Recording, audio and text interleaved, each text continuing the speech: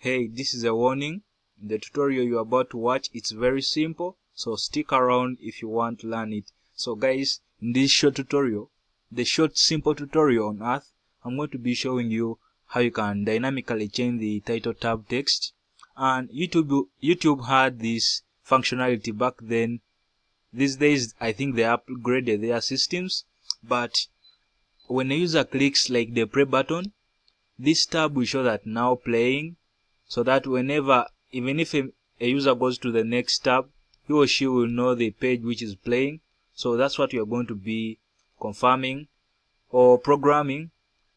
When he clicks pause and they will say media pause. So such text to change dynamically is what i'm going to be showing you. As you have seen i'm on teamtube. That's the website we are going to be programming. So when i refresh all that stuff will be gone and i'll start with my button. So guys if i'm going to leave the link in the description below showing you how you can dynamically create video controls using javascript. So you can apply this on javascript like when you're playing a video and such stuff happens. So i'm going to leave the link in the description below.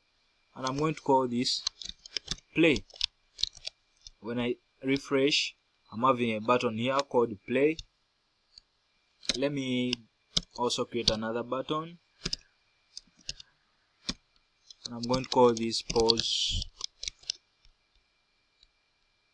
Cool. So far that's it but right now they don't have that functionality of creating some dynamic changes on a web page. Now imagine maybe at the top here you may be having a video playing such doing such stuff. That's the only stuff we need uh, in our HTML and we want to create a an event. Whenever a user clicks it we want that event to be fired off or the function. You can say on click. Whoa on click. So on click we are going to fire off a function called text tab. Put those parentheses. And we want this to appear in the text. So that's the argument we are going to pass on. And we want ampersand hash 9000 9654 so this is the icon for play some icon for play. And we shall say now playing. So that's the text we want to be we want to be displayed in this now let's go and create a function or javascript function for that. Here we shall say script. Shall open the script tags.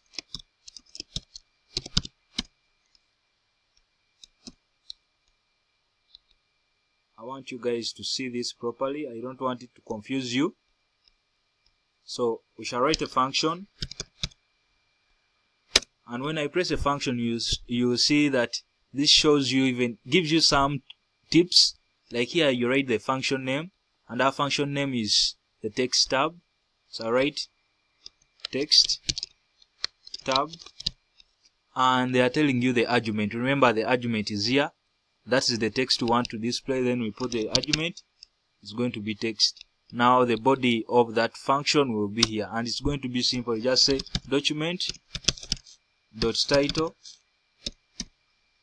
document dot title equals text so that's the only stuff you need for javascript how simple it is.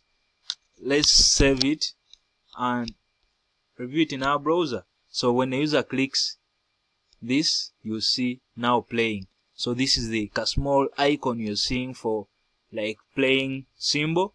So that's how youtube used to function back then. Whenever a user clicks play you see now playing. When you go on another tab you know it's the tab playing that media. The same applies to the pause button. The pause button we are going to carry this. Let me say this. Up to here. Whoa. We are just going to copy this. Ctrl C on your keyboard and paste. And we are going to change only the text here. Media paused save are you seeing media paused now playing media paused now playing media paused now playing. So guys the exercise i'm going to give you go and look for the html entity for the symbol of pause. I've given you for the symbol of playing. Now your exercise is to find out the html entity for this pause button please make sure you do that homework and let me know in the comments below when you get that HTML entity for the symbol of paused. I guess that's it. Maybe for the some tips, like in case you want to be showing now playing but with the title or the name of the website, we are just going to concatenate the statement. We shall say team team tube. You put the plus sign like concatenation simple. You concatenate them and say now playing TeamTube now playing you can space here to leave that extra gap in the middle. Are you seeing? TeamTube now playing. So the same stuff you can put on the pause button. So that's the functionality on how you can dynamically change the text in the title tab I guess I'll see you in the next tutorial. Please subscribe to the channel, like the video, share it on different social medias, and I'll see you in the next tutorials. How simple it was. Look at the JavaScript you needed to write. It's one, two, two lines, and extra for the closing curly brackets. So guys, that was very simple for you guys. I'm going to leave the link in the description below and you see how you can create custom controls for your video where you can add such functionality on your website. Please click the subscribe button and I'll see you in the next tutorials. Click the button.